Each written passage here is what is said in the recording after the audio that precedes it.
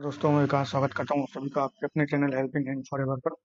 दोस्तों जैसे कि गेटवे डिस्ट्रिक्ट पार्क्स लिमिटेड का जो है राइट इशू आया है तो चलिए इसके बारे में आपको जानकारी दे देता हूँ। तो पहले कंपनी के बारे में बता देता हूँ कि गेट, गे, गेटवे डिस्ट्रिक्ट पार्क जैसे जी भी कहा जाता है इसका जो मेन जो वर्क है वो लॉजिस्टिक का काम करती है लॉजिस्टिक सर्विस प्रोवाइड करती है।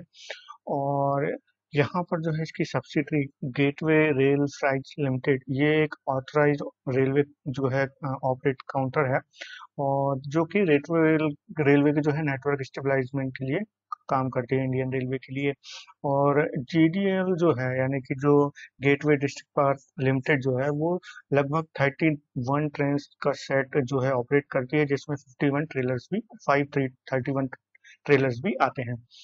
अब इसका जो है टोटल राइट इक्विटी शेयर जो कि ऑफ़र किए जा रहे हैं, वो है एक करोड़ इकसठ लाख सात हज़ार आठ सौ उनसठ राइट इक्विटी शेयर और राइट एंटरटेनमेंट किस तरह दिया जा रहा है? तो आपके पास हर, अगर सत्ताईस शेयर हैं तो हर सत्ताईस शेयर के बदले आपको चार राइट इशू दिए जा रहे हैं। यानी कि four is to twenty seven का जो है इनका रेशो है।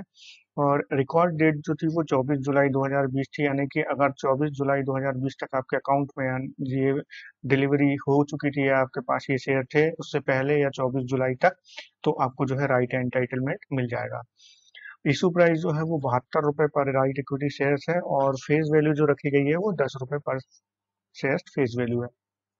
इशू का जो साइज़ है वो एक सौ पंद्रह दशमलव नौ आठ करोड़ का है और जो राइट एंटाइटलमेंट ऑलरेडी जो उसकी डेट निकल गई है क्रेडिट होने की वो 29 जुलाई 2020 यानी कि आपके जो, जो भी एलिजिबल शेयर होल्डर्स हैं उनके राइट एंटाइटलमेंट क्रेडिट हो चुके होंगे 29 जुलाई को। इशू की ओपनिंग डेट है 30 जुलाई यानी कि ये भी 30 जुलाई हो चुकी है और इशू ऑलरेडी ओपन हो चुका है 30 जुलाई 2020 को। और ऑन मार्केट रिनाउंसिएशन जी हाँ दोस्तों, जो राइट एंटाइटलमेंट शेयर ट्रेड हो रहे हैं, उनकी लास्ट डेट 7 अगस्त 2020 है। इस डेट को बिल्कुल ध्यान में रखिए। अगर आप राइट एंटाइटलमेंट में ट्रेडिंग कर रहे हैं तो आपको सिर्फ़ सात अगस्त तक का टाइम है और उसमें सिर्फ़ डिलीवरी बेस्ड ट्रेडिंग होती है। इसमें आप इंट्राडे नहीं कर सकते, यानी कि टी प्लस टू डेज़ का टाइम लगता है आपको डिलीवरी मिलने में। इशू क्लोजिंग डेट है तेरह अगस्त 2020 की, और जो आपका अलॉटमेंट वो फाइनलाइज हो जाएगा 20 अगस्त 2020 तक ये फाइनलाइज हो जाएगा। और डेट अलॉट अलॉटमेंट की जो डेट है वो 21 अगस्त 2020 यानी कि 21 अगस्त 2020 तक आपको जो है अलॉटमेंट मिल जाएगा। और क्रेडिट होने की जो डेट है वो 24 अगस्त 2020 की है और उसके बाद जो डेट ऑफ़ लिस्टिंग है वो 25 अगस्त 2020 की है। और यहाँ पर जो है बहत्तर रुपए का जो राइट इशू प्राइस रखा गया है, वो आपको फुल पेमेंट करना है at the time of application जी हाँ जैसे ही आप एप्लीकेशन करने जाएँगे राइट शेयर के लिए तो आपको जो है full payment seventy two rupees पर राइट इक्विटी शेयर आपको पे करना है। अब अगर कंपनी के रिज़ल्ट देखें तो एफ़ वाई नाइनटीन में अगर टोटल टर्नओवर जो था कंपनी का, वो चार सौ तैतालीस दशमलव तीन नौ करोड़ था और कंपनी ने नेट प्रॉफिट जो शो किया था, वो 361.26 करोड़ का नेट प्रॉफिट था। वहीं एफ़ वाई ट्वेंटी में देखें तो टर्नओवर बढ़ के 1309.56 करोड़ हुआ बट नेट प्रॉफिट जो है वो काफ़ी कम हो गया और कंपनी का नेट प्रॉफिट था एक करोड़ का। तो यहाँ पर कंपनी ने बताया कि उनके हायर डेप्रिसिएशन यानी डेप्रिसिएशन हाई हुए हैं, जो कि ईयर ऑन ईयर बेसिस बत्तीस दशमलव पाँच छः करोड़ से बढ़कर एक सौ तैंतीस दशमलव दो नौ करोड़ हो चुके हैं। ये एक उन्होंने कारण बताया। दूसरा उनका जो है फाइनेंस कॉस्ट भी हाई हुई है, यानी कि जो year on year basis finance cost जो कि पहले बारह दशमलव आठ ज़ीरो करोड़ थी, वो अब बढ़कर एक सौ दो दशमलव छह तीन करोड़ हो गई है। तो ये दो रीजन थे जिनके कारण जो है इनका नेट प्रॉफिट जो है इतना डिप हुआ। कम, जो राइट्स इशू के लीड मैनेजर हैं, वो है आईसीआईसीआई सिक्योरिटीज लिमिटेड और रजिस्ट्रार जो है वो है link in time India private limited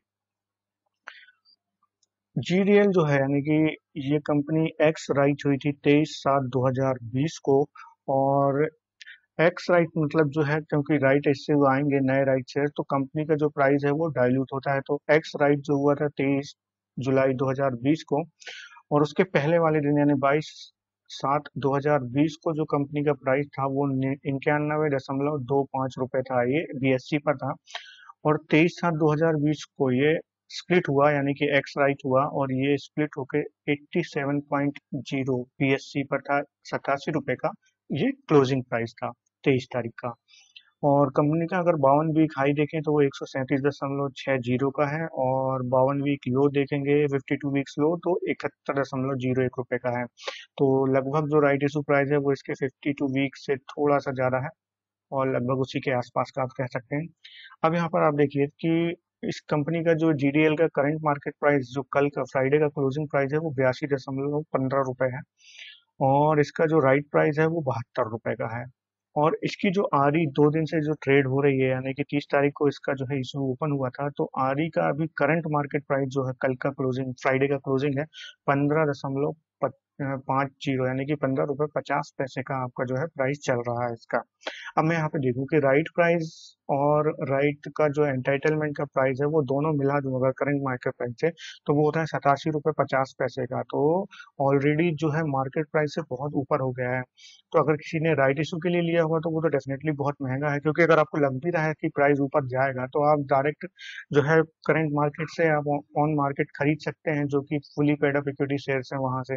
आप क्यों राइट एंटाइटलमेंट परचेज करके, और अगर आपने राइट एंटाइटलमेंट के लिए लिया है कि आगे चल के ये बढ़ सकता है तो फिर वो आपका कैलकुलेशन है कि आपने किस तरह से लिया है।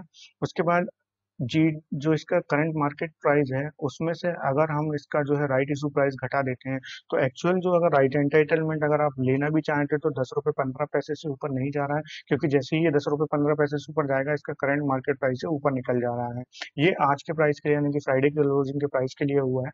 अगर आप नेक्स्ट डे लेते हैं तो उस टाइम के करंट प्राइस को आप इस तरह से कैलकुलेट कर सकते हैं।